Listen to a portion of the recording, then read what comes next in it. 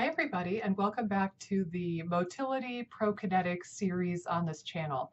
I wanted to take a moment and really geek out with you about a really cool study that demonstrates just how important prokinetics, motility, and MMC function is for people with SIBO to the point where it can even prevent SIBO when you're exposed to a known trigger.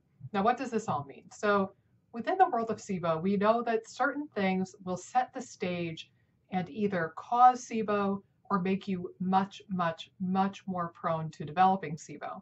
And one of the things that continues to come out in research repeatedly year after year is proton pump inhibitors, PPIs.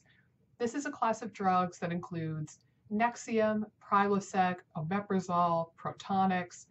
All of these act on the proton pump in the parietal cells of the stomach and decrease your stomach acid production.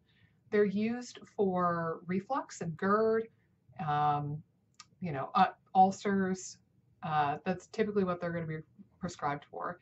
And when you take a proton pump inhibitor for more than uh, a month or two, it really sets the stage for small intestinal bacterial overgrowth and probably other sorts of dysbiosis as well. So this is a known SIBO risk factor. That's why, for example, with me, I ask every single one of my new patients whether or not they have taken a PPI, and I ask them for how long. I have a part of my questionnaire that is structured in a way that asks, have you ever taken these drugs? And it gives a range for one month, two months, three months, six months plus. So I get a general sense of what their risk factors are. So this is why I ask. Well, with this, I'm going to share with you a 2018 study titled Risk of Small Intestinal Bacterial Overgrowth in Patients Receiving Proton Pump Inhibitors versus Proton Pump Inhibitors plus Prokinetics.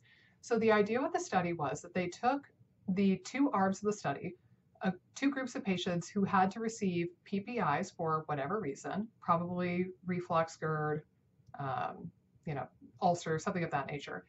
And they randomized them into two cohorts. One cohort only received the PPI. The other cohort received the PPI plus a prokinetic. Now, this is in the medical world, so of course they were using prescription drugs, but we know darn well that there's a lot of herbs and supplements such as ginger, 5-HTP, chamomile that will have a similar prokinetic effect or motility MMC promoting effect. And what they found was really cool.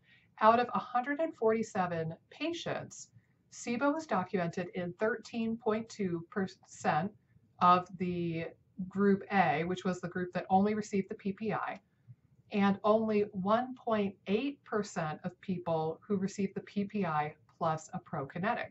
So it essentially dropped the risk factor, the risk of developing SIBO from 13.2% to 1.8%, which is pretty darn good.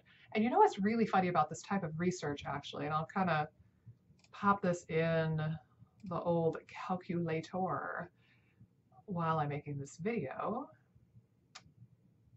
There's two ways to really look at data like this. There is the, on, multitasking.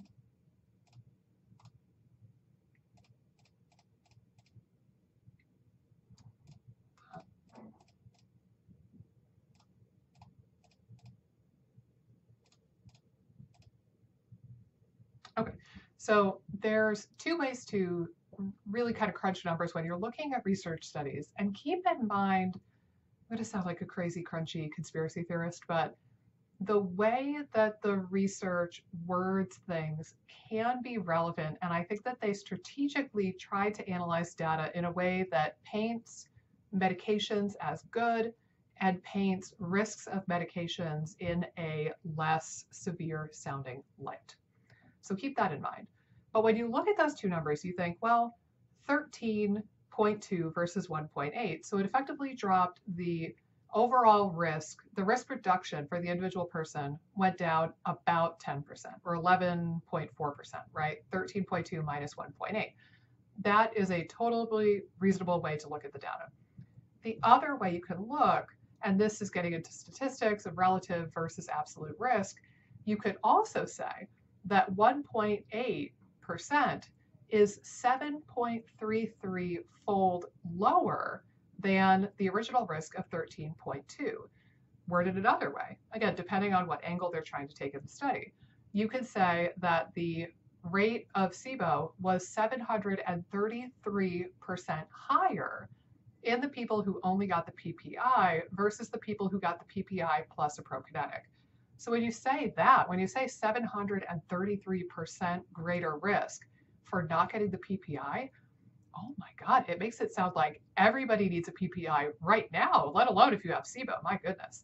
So just keep that in mind. I didn't actually mean this video to be a big um, like nerd statistics video, but just to paint that in light, I think that's a pretty profound drop to go from 13.2 to 0.2 down to 1.8 is a pretty significant drop in risk of developing SIBO.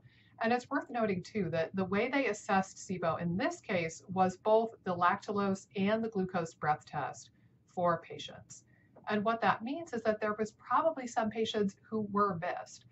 Lactulose and glucose don't catch 100% of SIBO patients. And this is actually one of my videos that I'm waiting to do is to talk a little bit more about breath testing and how imperfect that is as a tool.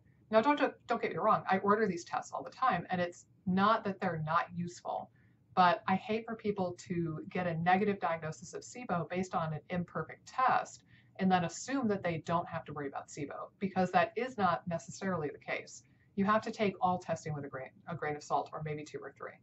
So within this study, it's possible that the risk was actually a little bit higher in both groups, but since they were using the exact same testing methods and the exact same you know, evaluation throughout, I'm going to take the overall reduction in risk for what it is. So you heard it here, 2018 study of 147 patients dropped the risk of getting SIBO with PPI use by a fair margin.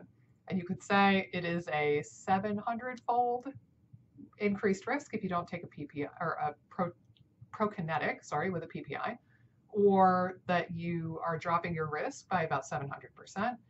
Either way, I think it's all pretty significant and it points to twofold. It points towards PPIs causing SIBO and also how important prokinetics, MMC, and motility really, really are to the SIBO world.